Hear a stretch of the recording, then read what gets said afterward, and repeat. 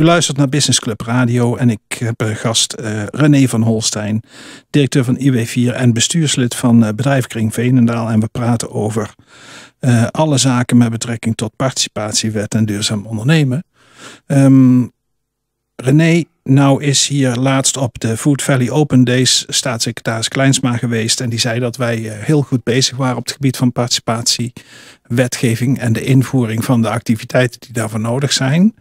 Uh, hoe staat het er nou voor hier in de, in de regio? Ja, nou, uh, de staatssecretaris uh, is natuurlijk uh, van nature buitengewoon optimistisch. Enthousiast, dat, hè? Ja, en heel enthousiast. Ja, het spettert er vanaf. En, en dat, dat, dat, kan ook heel inspirerend werken. Dus ja. ik vond, was, vond ook haar bijdrage aan de dag, wat dat gaat, heel positief. Ja.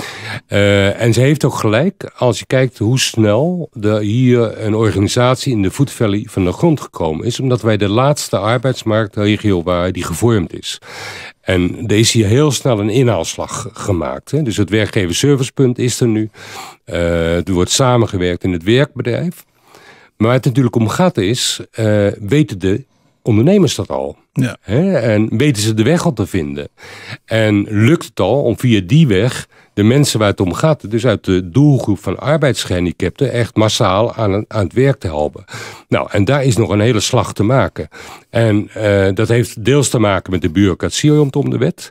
Dat heeft te maken met het feit dat ja, een nieuw fenomeen als een werkgever-servicepunt moet natuurlijk met een kost tijd voor ja, de, hè, ondernemers die weg weten te vinden en, ja, en weten wat ze daar kunnen halen.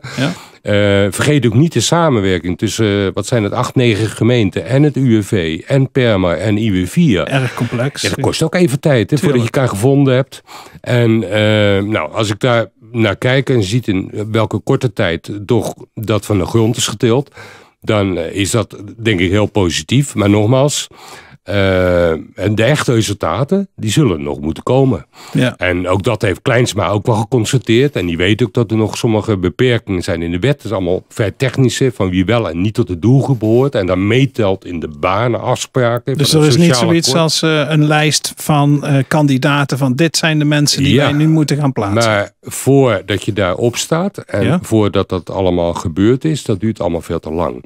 En dat is eigenlijk jammer, want je ziet nu werkgevers, ondernemers, die, die denken nou over vacatures. Er zijn ook best veel vacatures voor mensen ook met een beperking. Mm -hmm. Maar soms lukt het niet om de goede mensen erbij te vinden. En dat oh, is natuurlijk jee, jammer, dus, dus omdat er best heel veel mensen in een uitkering zitten met ja, een beperking zeker. die graag zouden willen werken. Dus daar, daar zijn nog wat slagen te maken.